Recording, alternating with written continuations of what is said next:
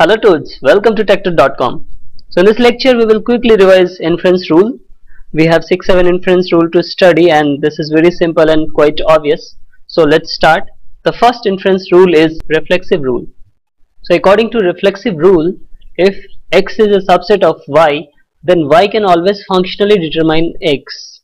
So here uh, let's make an assumption that x, y, z all these are proper subset of a relation R. Okay, so this is our assumption.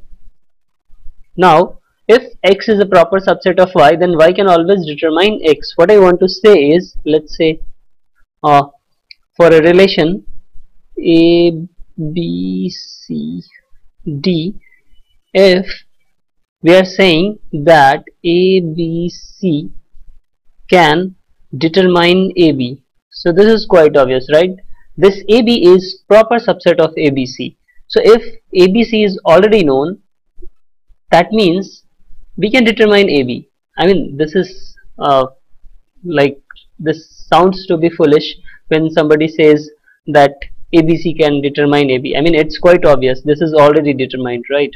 So using ABC we can determine AB. So that we call as reflexive rule. Okay. So if we can a set can always determine its proper subset. So this is what we say in this rule. Now next rule is augmentation rule.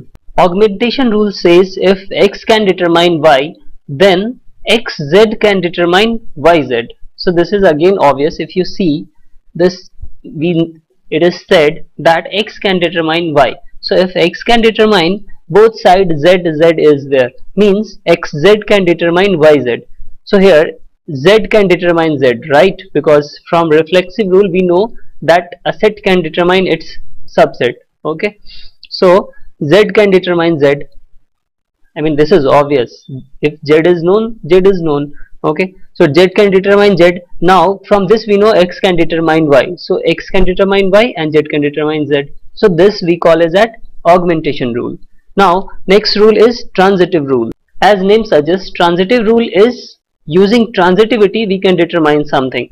So x can determine y and y can determine z. So we can indirectly determine z through x. That's what it is saying that x can determine z so transitivity is there x is determining y and y can determine z so we can say that x can determine z right so this is something like saying if a is a friend of b and b is a friend of c then a is a friend of c okay so this is what transitivity is and this is also implication in this case in our relational database uh, case and we can use it in functional dependency.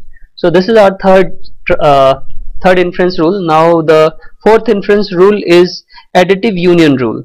So basically additive rule. So additive union rule says if x can determine y and x can determine z then we can collectively say that x can determine yz this is again obvious rule. So as we know that x can determine y x can determine z and we we are going to study closure of prop, uh, attribute. So uh, we know that if x can determine something let's say x plus which we denote as x closure or closure of a attribute so x can determine y and then z. So collectively we can say that x can determine yz so this is this comes under additive un additive or union rule okay so this is again obvious now we have another inference rule which is called pseudo transitive rule Pseudo-transitive rule says that if x can determine y and yz collectively can determine w, then xz can determine w.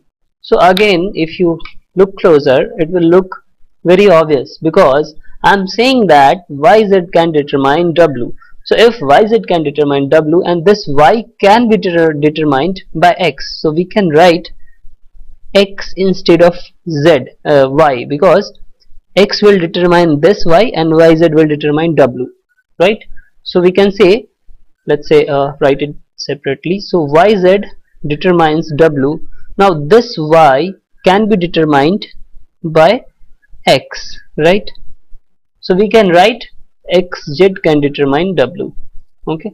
So this is our uh, fifth inference rule which is pseudo transitive rule. Now we have we have another inference rule which is productive rule. So let's understand it. Productive rule says if x determine yz then x determines y and x determines z. So what basically here we are doing is we are just decomposing this. X can determine both y and z right so we can separately write it that x determines y and x determines z. Just opposite to the union or additive rule. What we did here in union rule if you remember it is x determines y and x determines z. Then we can collectively write that x determines both y and z right? Here just opposite what we have done is simply if it is saying that x determines yz then we will decompose it and we will say x determines y and x determines z. So we can also say it as decomposition rule.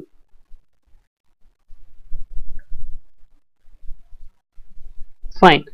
So i hope this is clear. This was very obvious and simple rules. Uh, so see you in the next lecture. Thanks for watching